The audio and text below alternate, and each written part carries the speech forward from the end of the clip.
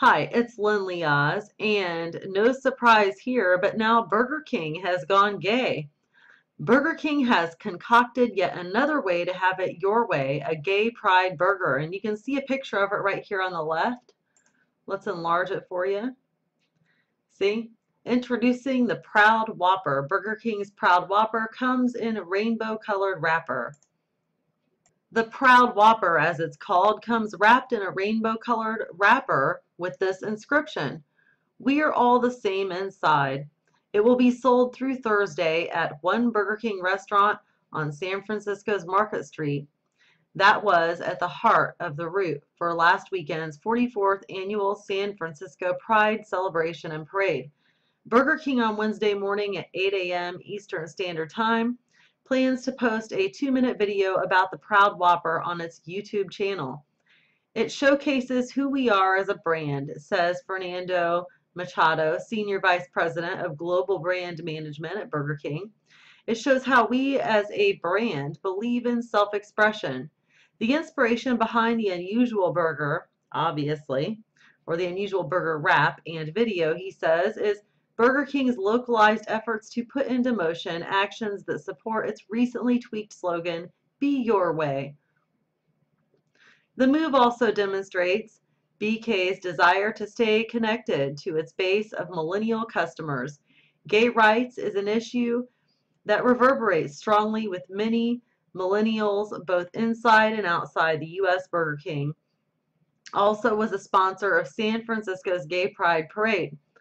Machado says that's the first time Burger King has sponsored a gay pride parade in the U.S., though it may have sponsored some outside the country.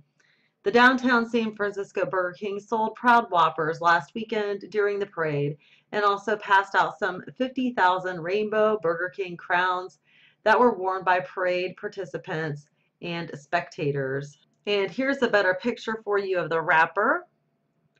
And here is the crowns they are talking about right here. There, you can see it better if I blow it up. Okay. Anyhow, the article goes on to say the video created by the Miami office of Burger King's ad agency David captures customers discussing whether or not the burger itself is different. At $4.29, it costs the same as a conventional Whopper, and indeed, customers ultimately discover the only difference is the rainbow wrap. All Proud Whopper sandwich sales, Machado says, will be donated to the Burger King McLamore Foundation for scholarships benefit, benefiting LGBT high school seniors graduating in spring of 2015. One gay rights activist says Burger King is doing the right thing.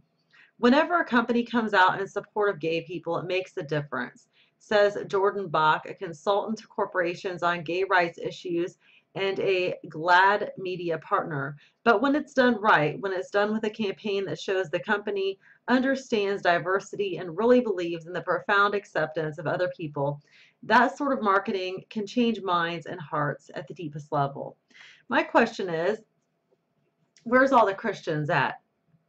Where are all the Christians at marching down the street for something called um, Christian joy or something? I mean, why aren't we out there um, combating this issue with something to do with God?